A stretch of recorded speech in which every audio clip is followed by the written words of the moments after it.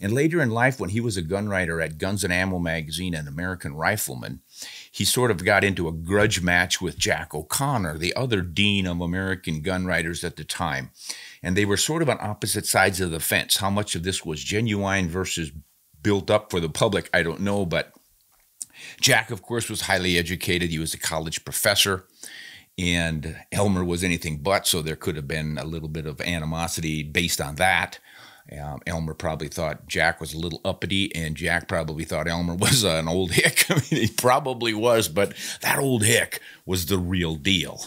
He he could do just about anything with a horse, with a camp, with game, and uh, with his guns, and that's what made him so popular.